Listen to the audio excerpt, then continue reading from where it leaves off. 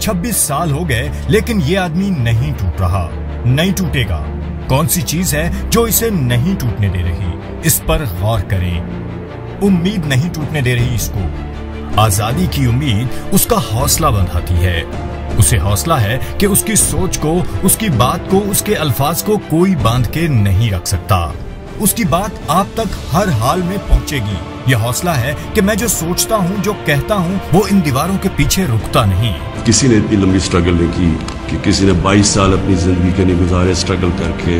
मैंने तो अब पब्लिक में निकलना है और मैंने स्ट्रगल करना है। तारीख है, वो कभी किसी को माफ़ नहीं करती। कौन क्या रोल प्ले कर रहा है, तारीख में हमेशा ये चीज़ें सामने आ जाती लेकिन एक ज़िंदा कौम हमेशा अपने हकूक के लिए खड़ी होती है और हमेशा आपकी सबसे बड़ी कि आपने ये गुलामी नहीं कबूल करनी। एक आज़ाद कौम की तरह आपने खड़े होना है। या का नाबदो वैया का नस्ताइन ला इला कोई खुदा नहीं अल्लाह के सिवा। ये नारों पे पाकिस्तान बना था।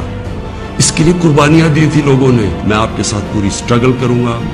मैं किसी सूरत तस्लीम नहीं करूँगा कि किसी किस्म की इंपोर्टेड गवर्नमेंट इस मुल्क के ऊपर मसलत की जाए। वो आदमी घूम फिर के सिर्फ़ एक बात आपको समझा रहा है, आज़ादी। सिर्फ़ आज़ादी जो बुनियादी हक है हमारा, जो कभी छीनना पड़ता है, मांगना पड़ता है, उसके लिए लड़ना पड़ता है।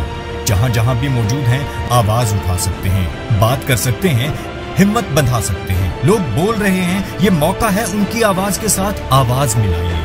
कोशिश कीजिए और अल्लाह ताला कभी भी कोशिश करने वालों को या आज़ादी के लिए लड़ने वालों को नामुराद नहीं करता।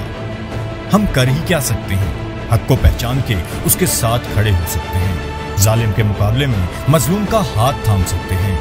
अपनी दानस्त में फैसला कर सकते हैं कि क्या ठीक है और क्या गलत। जो ठीक है उसके साथ खड़े हो सकते हैं। जैसे वो खड़ा है 26 साल से, उसकी हिम्मत नहीं टूट रही। वैसे भी लोग लड़ने वालों को याद रखते हैं। चाहे वो हारें या जीत जाएँ। पीठ दिखाने वालों को कोई याद नहीं रखता